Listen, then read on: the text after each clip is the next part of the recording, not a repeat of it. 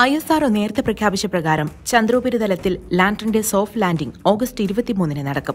ഭൂമിയുടെ ഭ്രമണപഥത്തിന് പുറത്തു കടന്ന ചന്ദ്രയാൻ മൂന്ന് ചന്ദ്രന്റെ ഉപരിതലത്തിലേക്ക് നീങ്ങുകയാണ്. ഇസ്ട്രാക്കിൽ നടത്തിയ വിജയകരമായ പരിചയ ഫയറിംഗോടെ I S R O Chandrayaan മൂന്ന് പേടകത്തെ ചൊവ്വാഴ്ച ട്രാൻസ് ലൂണാർ ഭ്രമണപഥത്തിലേക്ക് വിജയകരമായി ഇഞ്ചക്ട് ചെയ്തു.